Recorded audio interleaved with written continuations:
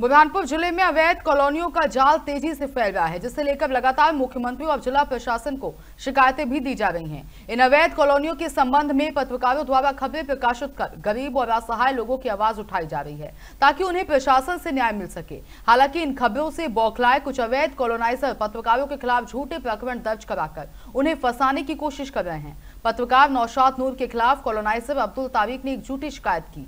इस शिकायत में अब्दुल तारिक ने अपने करीबियों को गवाह बनाकर पत्रकार पर पैसे मांगने के बेबुनियाद आरोप लगाए हैं, जो पूरी तरह से निराधार हैं। पत्रकार नौशाद नूर के खिलाफ झूठी शिकायत को लेकर शहर के पत्रकारों में आक्रोश है। बड़ी संख्या में पत्रकारों ने पुलिस अधीक्षक देवेंद्र पाटीदार से मुलाकात भी की। पत्रकारों ने झूठी शिकायत पर कार्रवाई की मांग की।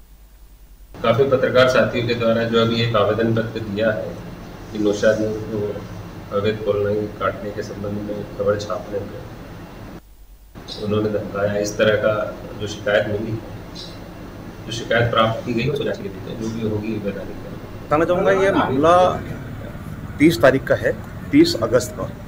तीस अगस्त को ये पीड़ित है शेख शब्बीर। ये मेरे ऑफ़िस में आए और इन्होंने अपनी समस्या बताई कि इनके साथ में धोखाधड़ी हुई। है धोखाधड़ी इस प्रकार हुई कि बाधापुर में एक कॉलोनी कटी थी मिलेनियम पार्क करके। उस कॉलोनी का जो कॉलोनाइजर है, वो तारिक खान है। तो वो तारिक खान ने जो है तो इनसे डो सिस्टम से कॉलोनी काटा था। इनसे पूरे पैसे लेने के बाद भी इनको रजिस्ट्री करके नहीं दे रहे इन्होंने अपनी पीड़ा मुझे बताए मैंने इनकी पीड़ा को समझते हुए खबर जो है, अपने समाचार पत्र में प्रकाशित किया।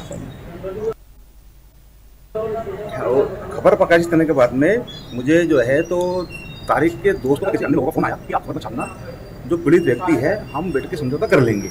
मैंने बोला, ठीक है भाई, आप दोनों मिलकर कर लो। तो बाद में ये हुआ कि उस, ये बंदे को चार छः दिन उन लोगों ने बेवकूफ़ बनाए और कोई बैठ के समझौता नहीं करे।